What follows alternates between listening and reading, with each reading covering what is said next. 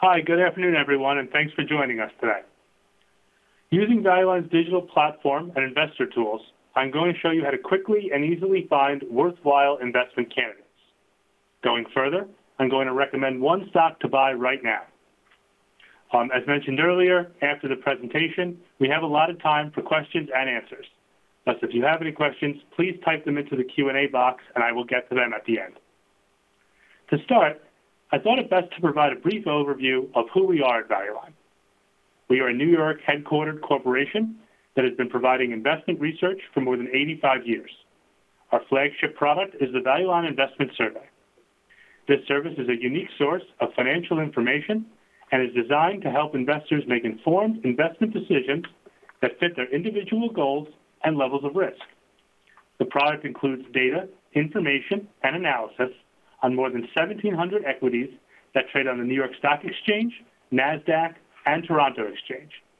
It also includes economic commentary, easy-to-follow model portfolios, stock screens, industry-based analysis, and much more. This service, which is published weekly, is created by Valueline's research department, which is comprised of more than 70 analysts, economists, data experts, and quantitative specialists. Our research is completely unbiased and independent. Unlike many Wall Street brokerage firms, Value has no investment banking business with any company, including the 1,700 that are included in this service. Value does not execute trades for its subscribers, and therefore has no vested interest in whether our subscribers buy, sell, or hold a specific equity. What's more, our staff of professional securities analysts are not permitted to own shares of any company that they cover. Before I begin the formal presentation, I thought it worthwhile to include an overview of the economic situation, as well as the Line Research Department's view of the stock market. The following content was prepared by Harvey Katz, Line's chief economist. There have been a few small bump, bumps in the road recently, with the latest month's figures showing some early spring volume slippage at the car makers, eased output in manufacturing, and softness in housing starts, but surprising strength in home sales. However, the big picture hasn't changed. True, after spotting this early in the year and a few weather-related pressures later on in the opening quarter, the expectation had been that activity would quicken as we neared mid-year. And that might still be the case. But the somewhat mixed trends cited above and the uncertain outcome of legislative actions aimed at economic reform in Washington suggest that any uptick in business activity in the spring and summer will be moderate. Wall Street continues to get, support from corporate America, and that is helping some key averages secure new milestones. To date, the vast majority of those companies already reporting their earnings have surpassed expectations. Indeed, the few high, high profile misses, which have rattled investors, have been overwhelmed by those companies posting better than expected results. Not surprisingly, the focus is back on Washington, where Congress and the White House are again attempting to fashion an overhaul of the healthcare system and generate momentum for tax reform. To date, the going has been slow amid the physiological divide in the Capitol. Sorry, philosophical divide in the Capitol. Looking ahead, the pace and scope of legislative action, which could be affected by the weak first quarter GDP showing, may have a bearing on the strength of the long-running but uneven economic expansion. A recent small victory was secured as Congress and the White House have reached an agreement on funding the government through its fiscal year. The international temperature has cooled slightly. Political uncertainty eased for the moment, though it's still a fact of life in France. Tensions remain high with North Korea, and issues have popped up regarding Turkey and the Philippines. So far, Wall Street is taking much of this in stride, but that could change if the international situation deteriorates notably. In conclusion, with the economy continuing to edge forward and interest rates low enough to keep competition from bonds at bay, it is hard to see the bull, market ending. But PE ratios are extended, so additional gains, albeit possible, may not be secured easily. Now for the core presentation. As you can, as you can see, I'm currently at our homepage, valueline.com. On this page, you can access free of charge, daily market commentaries, as well as general interest articles that are written by our analysts. I'm now going to sign in with my username and password. After entering my credentials, I'm taken to the, welcome screen. From here, I can quickly get to many important areas of our website, including Browse Research, which is the main home for our core equities products. I can also head to our investor tools, as well as the home pages for our monthly stock selection services. Since the goal for today is to find a worthwhile investment candidate, I'm going to start with the screener. Individual subscribers are entitled to a number of Value Line preset screens, as well as 50 data fields. Please note, however, that almost 200 more fields are available, but require a higher level of subscription. For this exercise, my focus will be a popular investment strategy, which should interest many of you on the call today. As Harvey Katz mentioned above in his stock market commentary, and I quote, PE ratios are extended, so additional gains, albeit possible, may be secured, may not be secured easily. Let's use that opinion to find a worthwhile stock to buy right now. More specifically, I'm going to find one that trades at a reasonable price to earnings multiple, is relatively safe, and possesses favorable growth prospects so that it would participate in the bull rally should it continue. Simply put, my plan is to find a conservative stock with upside. I'm going to start with Value Line's proprietary safety rank. The safety rank measures the total risk of a stock and is arranged on a 1 to 5 scale, with 1 being the least risky issues. I want to highlight the fact that stocks ranked favorably for safety have, in the past, held up far better than the broader market during corrections and downturns. For this, let's focus on stocks that have risk profiles that are better than average. So I click on the 1 and 2. As you can see, 459 stocks meet that criteria. I'm now going to tackle the PE side of things. Each week, Line publishes a median price to earnings ratio of all stocks with earnings in our 1700 stock universe. This week, that figure is a lofty 20.1. For reference, six months ago, the median PE was 18.3, and at the market low in March 2009, it was just 10.3. Obviously, we have come a long way from the financial crisis. Since I'm looking for a conservative stock, I'm going to set the high bound at 15 or well below the universe median. I can do this by moving the sliding bar or simply typing the name in the box provided. This will display a list of stocks that are trading at relatively low PEs. Also, I, I want to only focus on companies that are meaningfully profitable. Thus, I'm going to set the lower end at 5.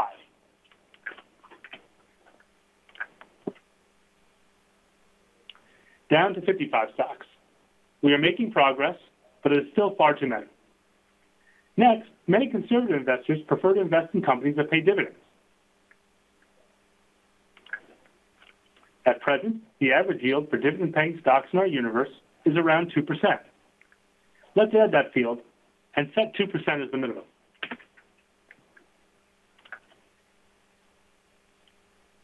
We now have 37 options.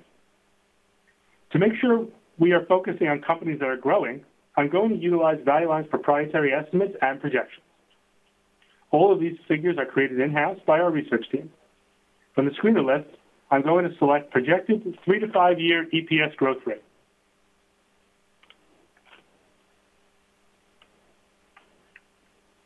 This is the expected average annual growth of share earnings calculated by our analysts. I'm going to set the minimum bound at 8%, which is a healthy rate. Overall, companies that are expected to achieve this rate, or close to it, should be firmly in growth mode. Okay, seven results, which is a pretty manageable list.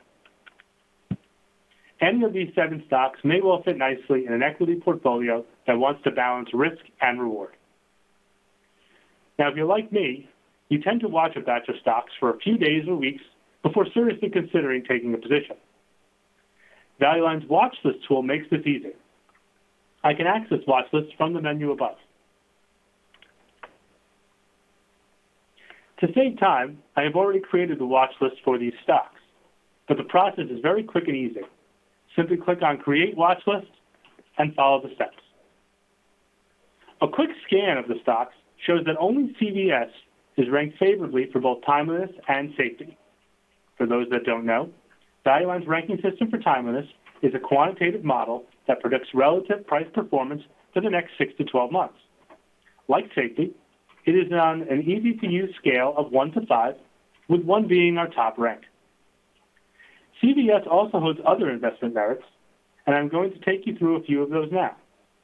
Let's click on the company name and get more information about this issue.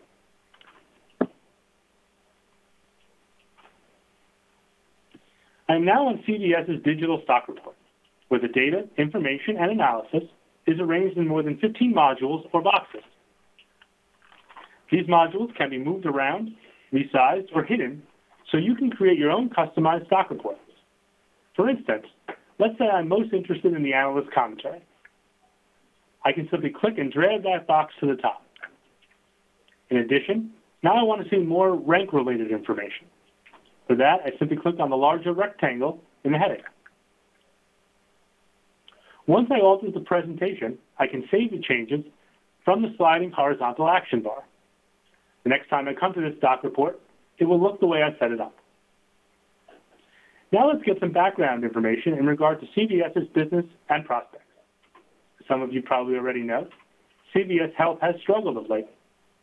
In the most recent analyst commentary, editorial analyst, analyst Andre Costanza had the following to say. This is likely to be a tough year for CVS Health from an operating perspective. Although the company closed out 2016 in solid fashion, management reaffirmed its soft guidance for 2017, calling for share earnings of $5.77 to $5.83. The high end of this range would mark a decline despite the likelihood of aggressive share repurchases. The pharmacy services provider is pinning its gloomy outlook on success from rival Walgreens Boots Alliance in regarding to signing deals that make its pharmacies part of a preferred network. Specifically, CVS believes that Walgreens' affluence in this area will cost it 40 million in prescriptions this year. With this in mind, we are maintaining our $5.85 earnings per share forecast and trimming $3 billion from our top line estimate to call for just a 4% advance.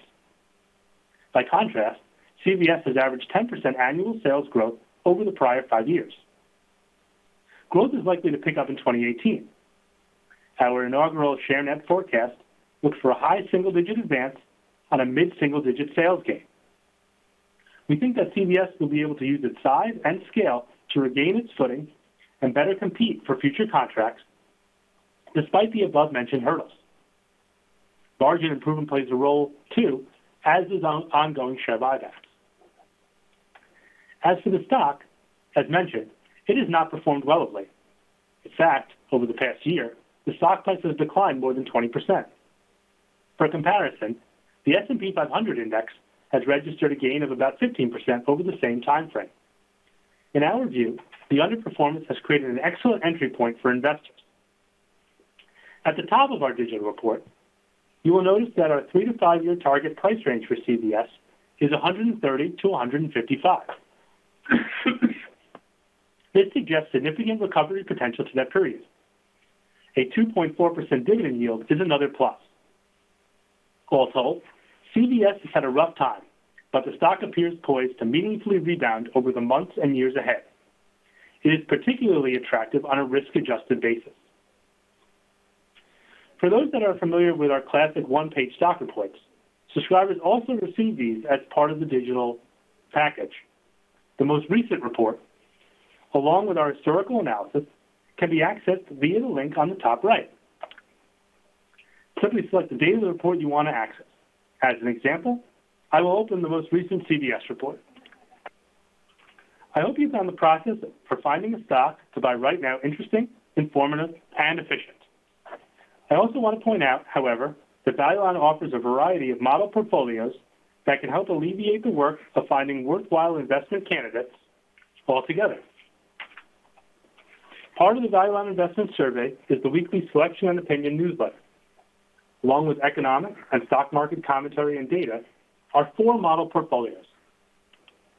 Each one has a different investment strategy, is actively managed, updated each week, and always contains 20 stocks. The portfolios are overseen by senior research analysts. Portfolio 1 is best suited for aggressive investors and focuses on stocks that are expected to outperform the broader market over the year ahead. Portfolio 2 should be of interest to more conservative investors and focuses on dividend-paying stocks that offer worthwhile appreciation potential. Portfolio 3 chooses equities. Well, let me just get to that. There we are.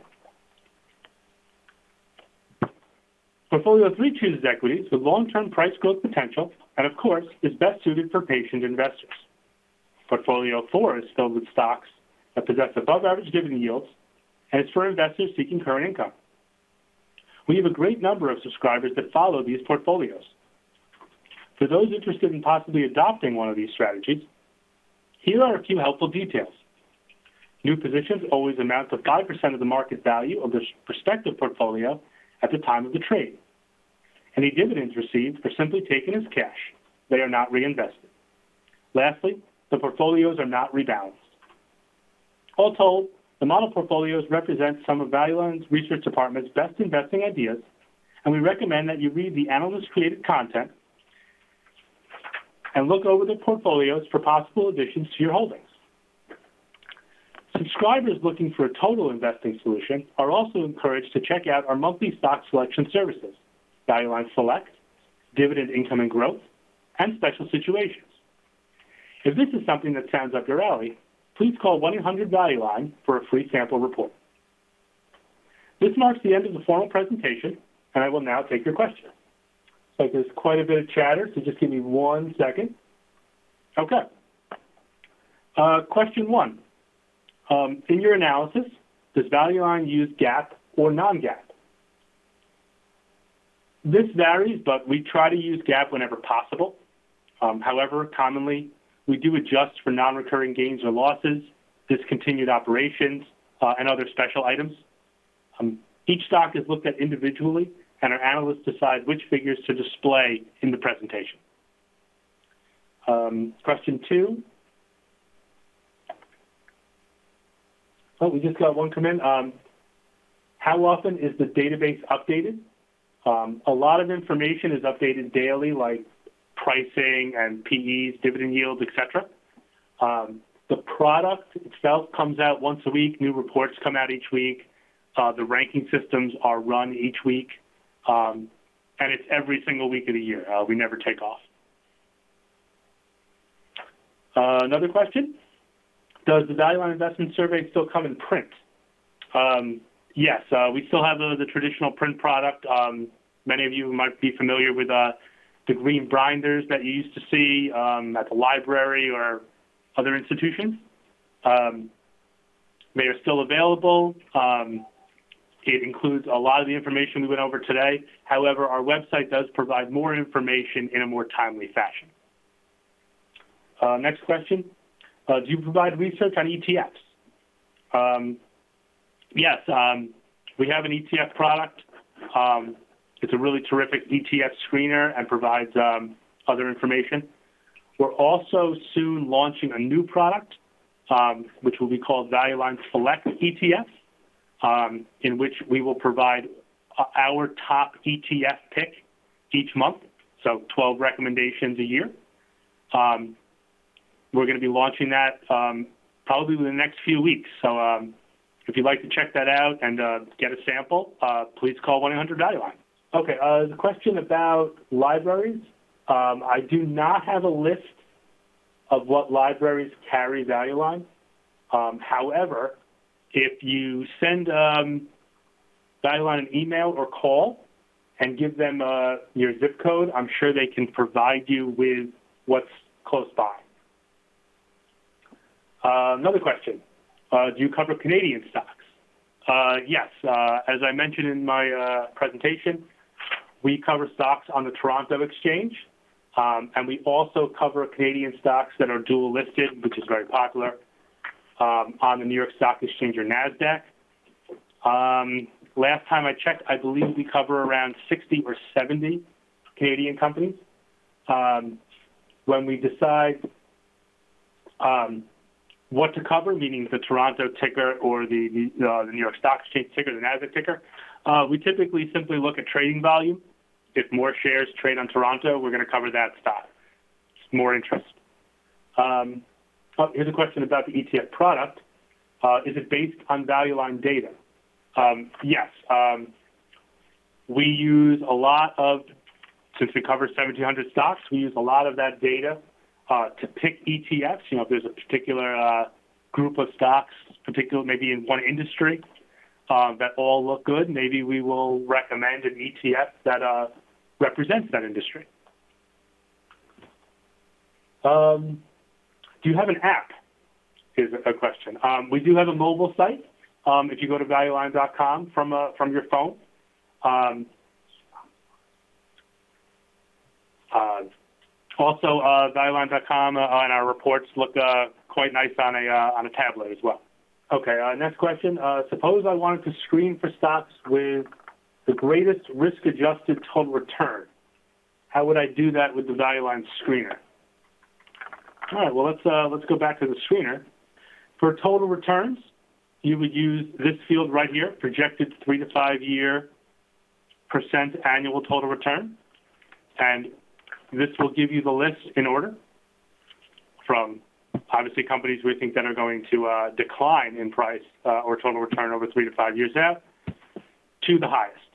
Uh, oftentimes, I see a discounted offering for year one, but does not say what happens after year one. Does pricing, pricing revert back to, to full subscription pricing?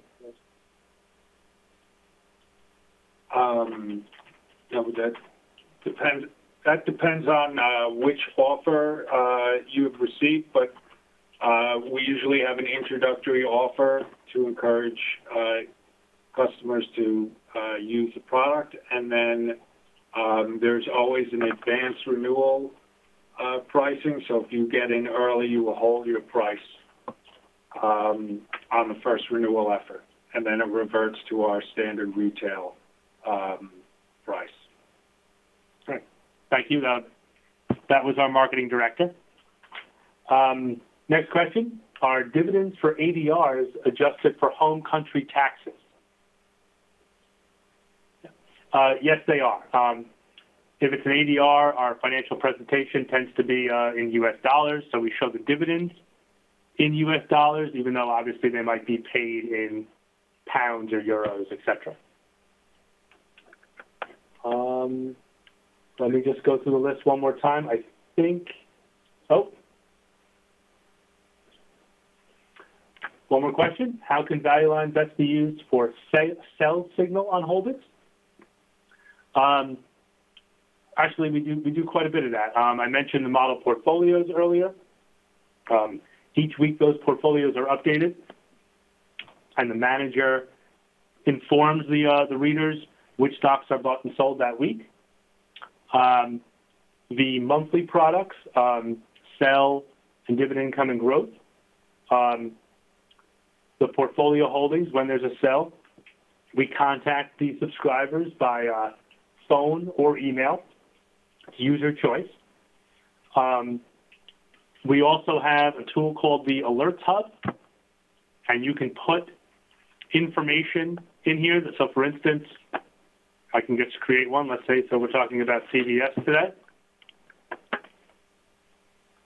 I can set up an alert for when the stock rises above or falls below. So as you can see, CVS is around $80. Let's say I was only interested if it, uh, if it drops to 75. I can then set up that alert, and when and if that event happens, it will send me an email. Um, you can also use our ranking system, uh, as I mentioned. Um, Stocks are ranked one to five, with one being the best, um, two being above average, three being neutral, and four and five being below average. Those are stocks we think uh, are going to lag the market over the next six to 12 months. So you can use the rank as a sell signal if it drops to four or five. So, uh, how do you get to the actively managed portfolios? Um, I apologize. I know I stumbled with that for a little bit. Um, but they're all uh, within our selection and opinion newsletter, which comes out weekly. Um, and it's right from the dashboard. Okay, uh, one more question. Um, someone's asking for uh, a more robust portfolio tool that would allow you to import your holdings from brokerages and customize displays. Um, that's actually something we've looked into recently. Um, I wish I could tell you it's going to happen in the near term, um, but that is an enhancement we are considering at this time. Someone's asking if the link of the recording presentation will be available. Uh, yes, we will post it on our site as well as on our YouTube channel uh, within the next 24 hours. Um, that seems to be all the questions. Um, if I missed one, I apologize. Um, if you'd like to email me after the presentation with your question, uh, my email address is igendler at valueline.com. That's I-G-E-N-D-L-E-R at valueline.com. Um, I hope you all found this presentation helpful and interesting. Um, thank you very much and take care.